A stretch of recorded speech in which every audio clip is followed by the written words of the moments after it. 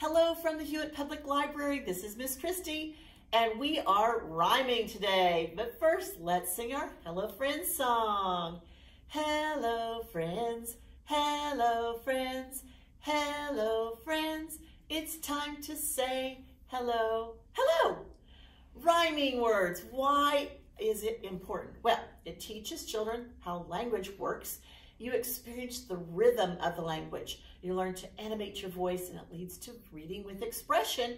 And rhymes create mental picture and expands the imagination. So hopefully we will expand your imagination today and come check out, we've got lots of wonderful, lots of wonderful rhyming words. And this is one of my favorite rhyming books, Sheep in a Jeep. And if you like this one, we've got a whole series of them.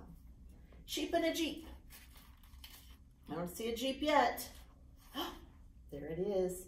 Sheep in a Jeep by Nancy Shaw. She's the author. She wrote the words. Illustrated by Margot Apple. She's the illustrator. She drew the pictures.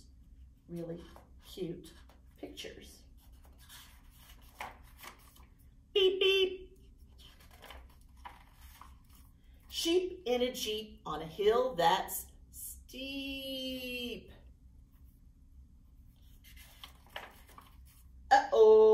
The Jeep won't go. That's a lot of sheep in a Jeep.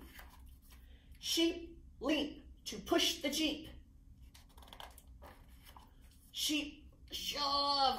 Sheep grunt. Sheep don't think to look up front. Jeep goes splash. Jeep goes thud. Jeep goes deep in gooey mud. Sheep tug. Sheep shrug. Sheep yelp. Sheep get help. They're going to get help from. Who loves the mud? Jeep comes out. Sheep shout.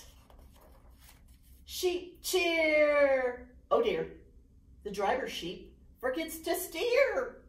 Ah, Jeep in a heap.